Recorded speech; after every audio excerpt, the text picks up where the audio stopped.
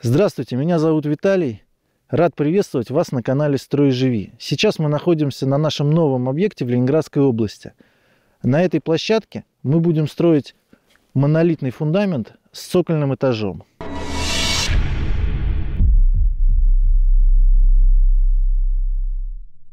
Строительство фундамента начинается с посадки дома на участок. Сейчас мы не будем разговаривать о том, как правильно посадить дом на участок с точки зрения сторон света, границ от соседних участков. Мы поговорим о том, как точно выполнить строительство, когда уже есть техническое задание, когда есть понимание, где этот э, дом должен и как стоять. В данном случае у нас от заказчика есть техническое задание э, расположить дом строго по этой линии, э, которую он нам отметил двумя кольями, между которыми натянута вот эта веревочка. В процессе строительства фундамента оси задаются с помощью подобных шнурок, растянутых на выносках. Выноски делаются подобным образом. Забиваются колья, на них устанавливается какая-то горизонтальная поперечная доска э, с двух сторон от фундамента. И закручивая здесь саморезик и устанавливая гвоздик, или устанавливая гвоздик, э, между ними на, натягивается шнурка. Это получается ось фундамента. Но эти оси часто сбиваются, и их необходимо восстанавливать. Для того, чтобы иметь на протяжении всего строительства возможность э, вернуться к изначальным координатам, э, необходимо обращаться к геодезисту. Геодезист это специалист, который привязывает объекты к поверхности Земли. А это обычно это специалист э, либо с таким GPS-прибором, только очень точным, который дает точку там, до полутора-двух сантиметров да, точностью, а, либо с тахиометром, когда он делает себе вешки а, в отдалении, то есть необходимо сделать какие-то стационарные вешки. А вы ориентируетесь только по тем трем точкам, да, которые там вбили, да? Ну, да, а. потом найти эти два. Э, ну, у меня, у меня есть там, ну, как по координатам, x, y. И понимает, где она находится. Тарика, что ли, И потом уже в системе координат разворачиваем дом и, и сажаем его на местность. То есть у вас есть чертеж дома? Да, в автокаде. Мы сейчас с вами забираем вот эти две точки, да, вы их как-то к себе туда загружаете. Угу. Вот я их уже загрузил, вот их координаты.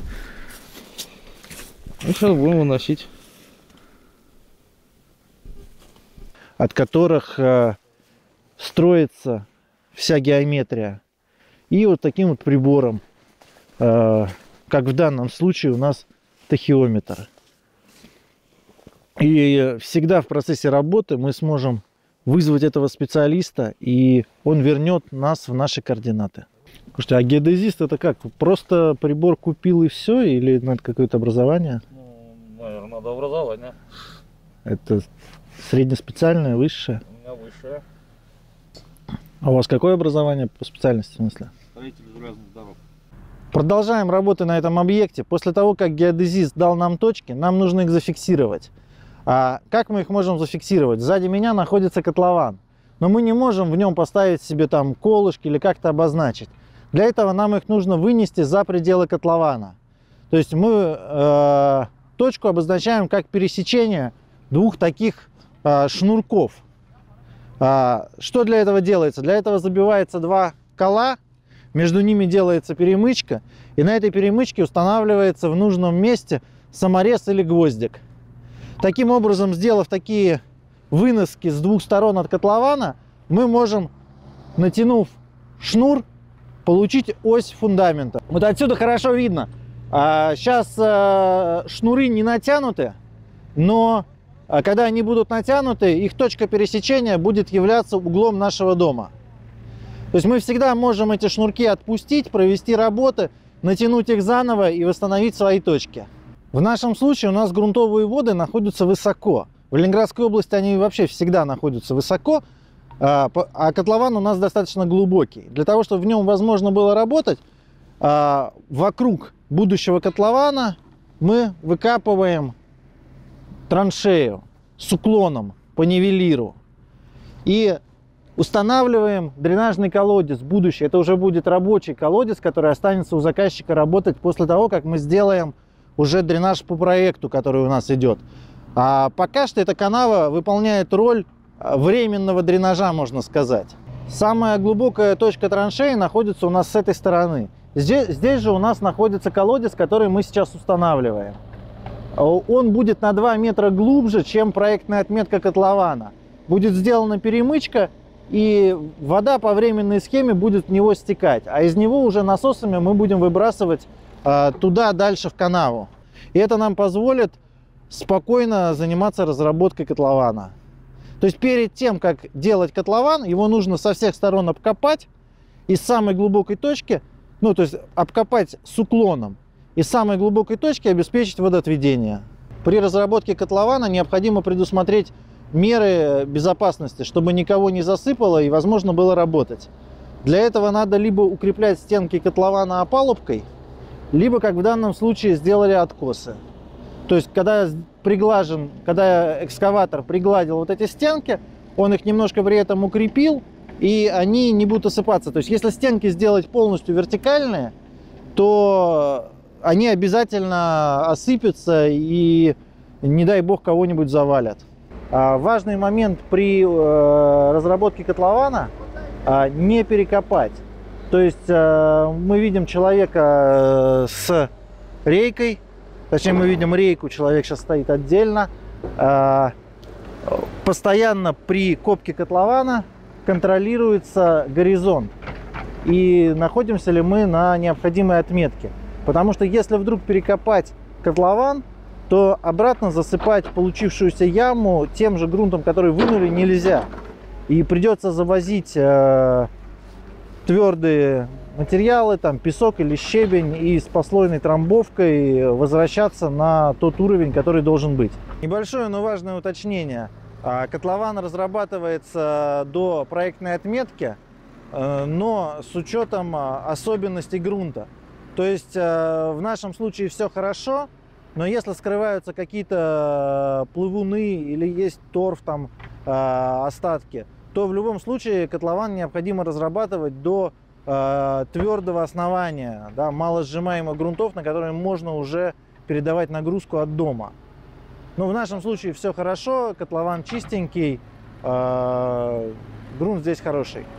А, нивелир прибор простой, но крайне необходимый на любом строительном объекте. То есть его задача давать горизонт.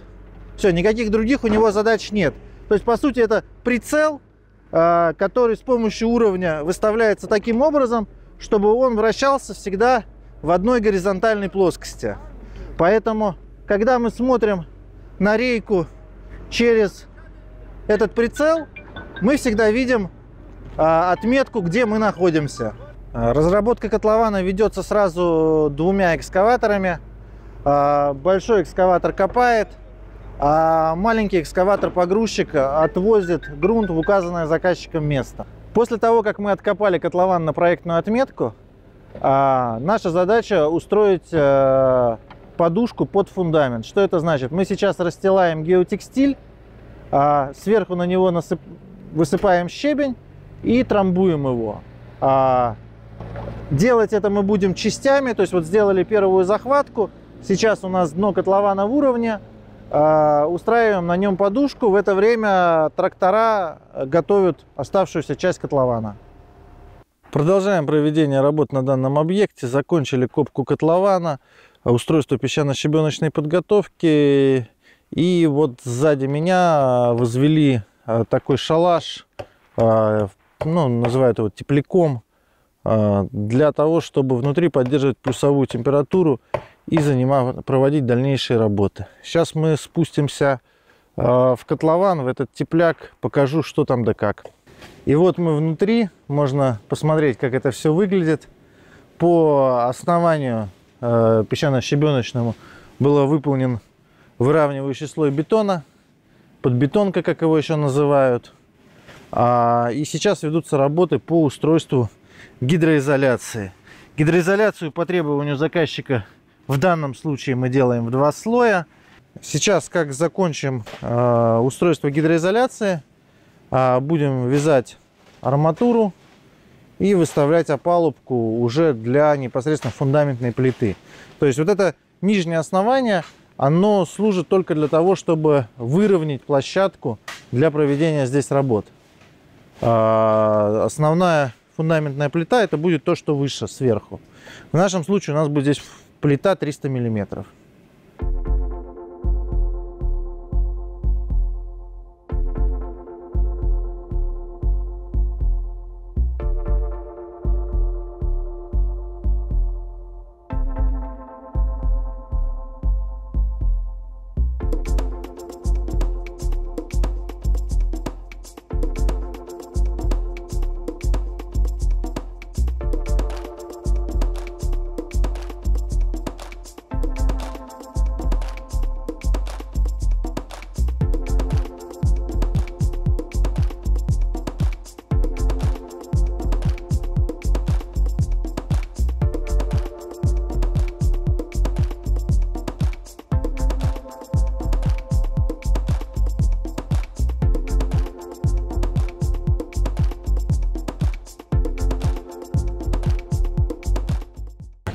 Продолжаем работы по устройству фундамента в виде цокольного этажа.